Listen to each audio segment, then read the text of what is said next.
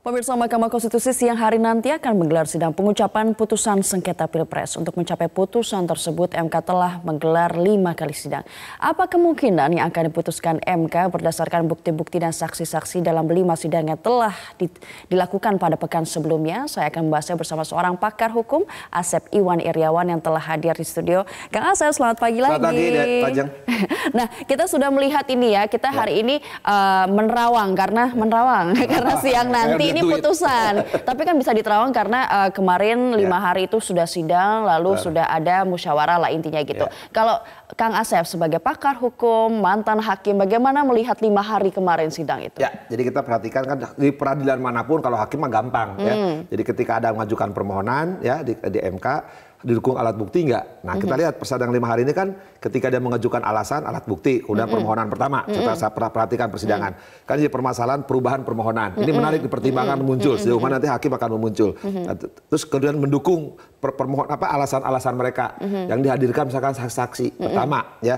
Katakanlah dia bicara selisih perhitungan yang berubah tujuh apa dari mulai 64, 54, hmm. 52 kemudian jumlah Itu 20 juta, 22 juta berubah-ubah. Uh, uh. Nah, tanpa didukung bukti. Harusnya kan C1 yang jadi sertifikat. Uh. satu itu.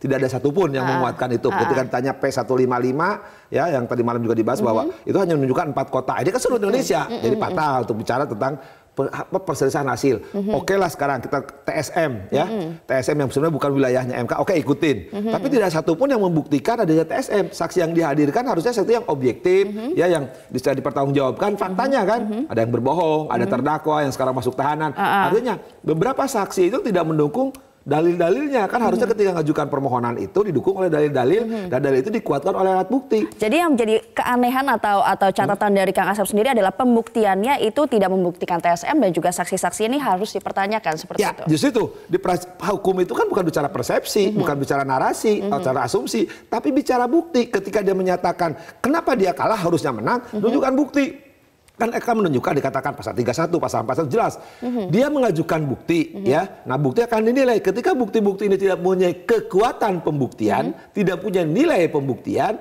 ya hakim tadi misalkan gampang mutusnya. Mm-hmm. Loh, dia mendalilkan dia harus menang, mana dong menang Jadi apa yang didalilkan semuanya termasuk TSM itu semuanya harus dibuktikan. Ada, terbantahkan mm-hmm. kan ketika Prof Edi Haroi dari UGM itu kan dia sebagai guru, guru besar yang doktornya adalah bidang TSM, mm-hmm. kan sekarang TSM seolah ada MK, yang sebenarnya itu bukan wilayah MK. Hmm. Oke lah saya ikutin maunya. Uh-uh, karena nah, itu didalilkan. Uh, TSM. Nah harusnya kan diuraikan. TSM hmm. itu kan sangat meluas. Tidak hanya yang munculkan masalah kan kemarin Jawa Tengah.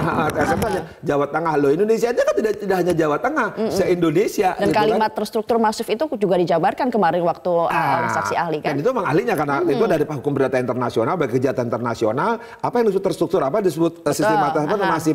Nah ini seolah TSM ketika pemilih-pemilih dihadirkan, maaf dengan segala hormat, uh-huh. pertama saksinya tidak objektif uh -huh. ya punya permasalahan uh -huh. ya tanda petik ada kebohongan-kebohongan. Uh -huh. Kedua, nilai pembuktian saksi kalau ngomong betul itu tidak mendukung untuk kalau, KSM. Uh, sebagai mantan hakim ini benar-benar lemah sebenarnya. Bukan sangat lemah tadi saya bilang, tidak punya nilai kekuatan pembuktian. Uh -huh. Jadi artinya hakim dengan sangat mudah ya nanti akan mempertimbangkan tadi yang jadi masalah awal itu kan dari mulai persoalan perbankan syariah mm -hmm. ya yang tidak paham. Nah, itu akan mungkin pertimbangannya mm -hmm. menarik nanti mm -hmm. kalangan hukum akan menarik di situ. Kedua, apakah perubahan akan dipertimbangkan? Ketiga, pembuktian di persidangan yang tadi mm -hmm. alat buktinya baik bukti surat yang sebenarnya mm -hmm. menentukan ada bukti surat mm -hmm. apa yang terkumpul yang diserahkan tidak mm -hmm. kemudian bergelombang ternyata berapa truk seman berapa mm-hmm. kontainer katanya yeah. kan. Uh-huh. Kedua, saksi. Mm-hmm. Yang parah lagi ahli. Nah, ahli kemarin itu kan apakah membuktikan perselisihan hasil dari situng mm -hmm. itu akan membuktikan TSM. Yeah. Jadi kan nggak jelas, padahal dua uh. hal yang berbeda. Walaupun itu gelar Jadi nggak nyambung sebenarnya. Ya, ya itulah, maka saya bilang ini harusnya konsep mau perselisihan uh. hasil, mau TSM atau dua-duanya. Tapi oleh alat bukti itu uh. harus dibuktikan. Kalau nggak dibuktikan, ya saya pikir gampang hakim. Maka saya bilang saya bisa ketika harusnya 28 27 mungkin oh ini mah istilah anak-anak SD ngasih PR tuh gampang. Oh, udahlah kerjakan sekarang aja nggak usah. Jadi jadi kemarin ada juga yang menarik Bambang Wijoyanto meminta institusi negara untuk ikut membuktikan membuktikan kecurangan pilpres. Nah ini bagaimana? Kan sebenarnya bagaimana siapa yang mendalilkan dia yang harus membuktikan. Ya, sebenarnya gitu kan? Aja hukum itu kan aktori incumbit probasio yang, yang tidak itu untuk semua itu siapa yang mendalilkan dia membuktikan. Mm -hmm. Sederhana gini, yang paling gampang orang mengatakan lu punya utang. Mm. Yang ngebuktikan kan bukan yang punya yang dituduh punya utang, saya yang menuduh kan, kan bingung. Nah, artinya ketika mm. dia mendalilkan, dia harus membuktikan. Baca pasal 31 ayat 2. Itu jelas sekali di Undang-Undang MK ketika mengajukan permohonan didukung alat bukti diajukan. Jadi hanya dia yang mengajukan alat bukti. Nanti hakim tuh ya pasal 37 Undang-Undang MK dia menilai alat bukti. Jadi loh kok lucu masa hakim yang mencari alat bukti negara negara loh, harus kan bantuin. Kan, kan persoalannya uh perselisihan hasil buktikan bahwa uh Pak MK curang ya. Uh Eh Pak, Pak, Pak KPU, KPU curang uh atau 01 curang. Uh Satu itu. Uh Kedua TSM misalkan curang. Ya itu buktikan apa yang hmm. curang. Ya hadirkan seluruh saksi bahwa dia orang-orang ini dikerahkan Tapi kemarin aparat. inginnya ada 30 lebih saksi yang ingin dihadirkan tetapi yang dikabulkan MK hanya 15. Apakah itu bisa menjadi Ini yang sudah paham. Uh Mau seribu pun orang kalau tidak punya kualitas pembuktian percuma. Uh -huh. Kan di Undang-Undang MK pasal 45 baca minimum dua alat bukti mm -hmm. sama dengan pidana Betul. pasal 183. Lah, kalau nilai pembuktian misalkan 3 4 orang mm -hmm. itu bisa membuktikan, itu punya nilai pembuktian. Mau truk pun, tujuh kontainer pun bukti surat. Jadi harusnya orang kualitas kan. Sebenarnya 15 ini gimana kualitasnya menurut nah, gini, Kang Yang disebut saksi itu dia lihat, dia -huh. dengar betul-betul bahwa dia tidak bohong di cerita mm -hmm. itu. Bahwa betul saya diperintahkan untuk ngajak semua orang nyuruh ini hmm. dengan ada uang dan sebagainya dan sebagainya hmm. misalkan. Terus ahli juga misalkan, oh ini ternyata KPU bermain nih di IT-nya. Karena kan masih manual berjenjang kan, Aha. manualnya diatur-atur gitu kan, sertifikatnya Aha. salah. Harusnya kan itu. Nah ini ngambil analisa dari hasil situng. Aha. Situng itu kan ada perubahan bagaimana transparansi. Ya. ya, terus yang lebih parah lagi ya. Nah ketika ahli-ahli itu dihadirkan hmm. kan pertanyaannya telak sekali tuh. Saya masih ingat karena apa, itu apa, kan? jam 5. Pertanyaannya kuasa hukum 01 yaitu apa Yusril maupun Tobas. Mm -hmm. Ya, dia kan mengambil angka menilai ya mm -hmm. yang jumlah 20 27 juta berubah itu. Itu kan diambil ke petitum mm -hmm. ya, ditarik ke petitum yang dimohonkan ke petitum yang dimohon kepada hakim. Mm -hmm. Kan lucu. Justru petitum itu lahir karena posita. Alasannya mm -hmm. apa?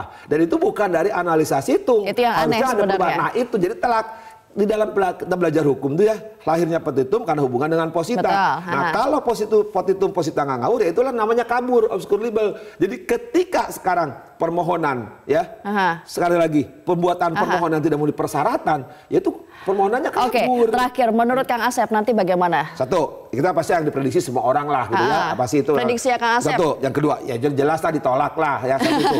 kedua, yang menarik nanti ada pertimbangan-pertimbangan hukum mungkin hmm. bagi dunia hukum okay. akan menarik karena kan bagaimana pertarungan yang bersangkutan di masyarakat hmm. mungkin mas nanti akan tercengang beberapa, hmm. beberapa pertimbangan hakim mungkin saya berharap bahwa itu di, dunia hukum akan menjadi sumbangan bahwa tapi yang lebih penting lagi adanya edukasi, edukasi, edukasi pembelajaran pada masyarakat. Hmm. Kelak kalau mengajukan alat bukti Harus. baik surat saksi yang harus dipertanggungjawabkan karena di undang-undang okay. MK jelas iya. diperoleh dengan prosedur hukum yang benar okay, bukan asal ngasal gitu. Siap. Terima kasih Kang Asep.